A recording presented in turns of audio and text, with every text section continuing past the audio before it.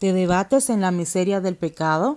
Invoca a la excelsa María y dile, Ave, que quiere decir te saludo con profundo respeto a ti, que eres sin pecado ni desgracia. Ella te librará de la desgracia de tus pecados.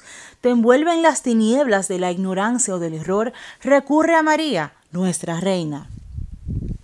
Ave María, es decir, iluminada con los rayos del sol de la justicia ella te comunicará sus luces a través de la acción del Espíritu Santo. Caminas extraviado fuera de la senda del cielo, invoca a María, que quiere decir estrella del mar y estrella polar. Asimismo, como le dicen las almas del purgatorio, estrella de la mañana, que guía nuestro peregrinar por este mundo. Ella te conducirá al puerto de salvación.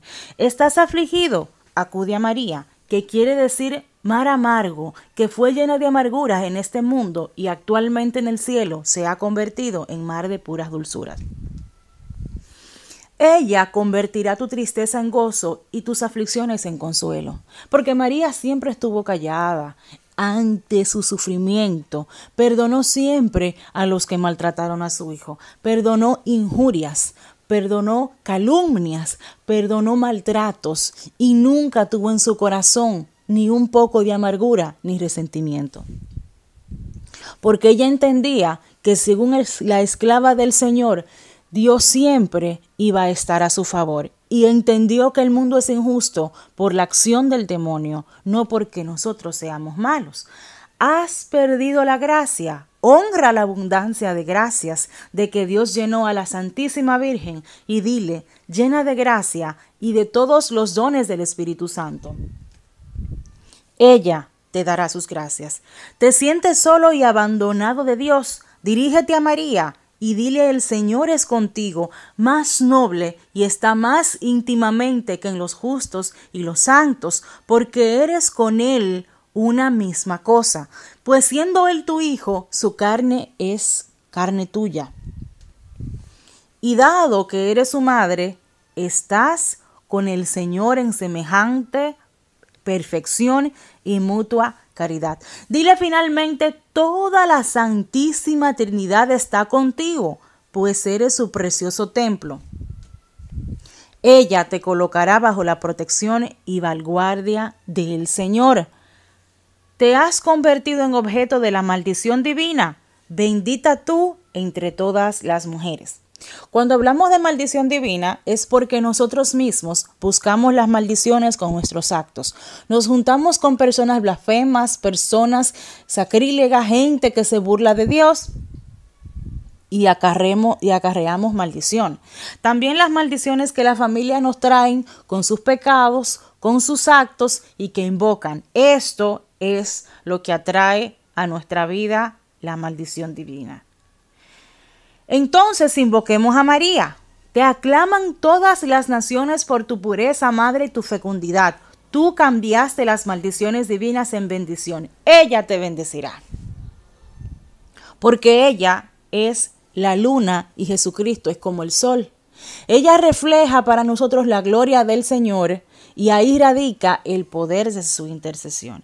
¿Estás hambriento del pan de la gracia y del pan de la vida? Acércate a quien llevó el pan vivo descendido del cielo en su vientre, nuestra Reina María. Dile bendito es el fruto de tu vientre, en que cambiaste sin detrimento de tu virginidad, que llevaste sin trabajo y diste a luz sin dolor. Bendito Jesús que rescató al mundo esclavizado, curó al mundo enfermo, resucitó al hombre muerto, hizo volver al hombre desterrado, justificó al hombre criminal y salvó al hombre condenado.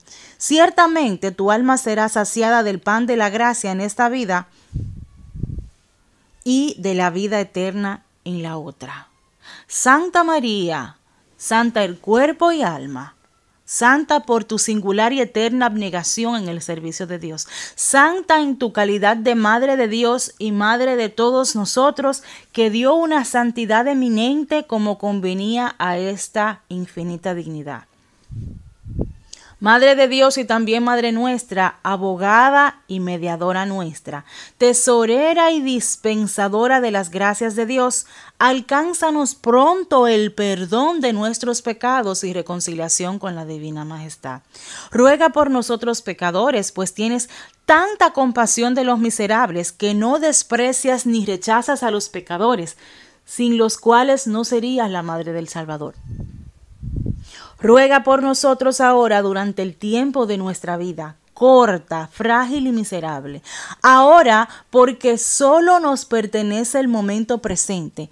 Ahora somos acometidos y estamos pecados, rodeados de pecado noche y día de poderosos y crueles enemigos.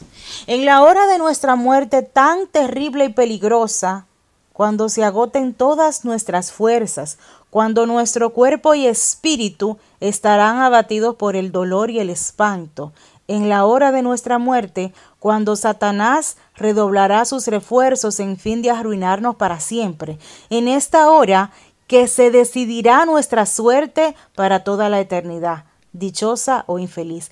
Ven en ayuda de los pobres hijos tuyos, Madre compasiva, abogada y refugio de los pecadores.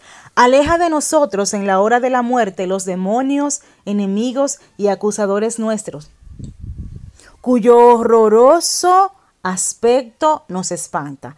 Ven a iluminarnos en las tinieblas de nuestra muerte. Guíanos y acompáñanos ante el tribunal de nuestro juez que es hijo tuyo. Intercede por nosotros para que nos perdone y reciba en el número de los elegidos de en la mansión de la gloria eterna. Amén. Así sea.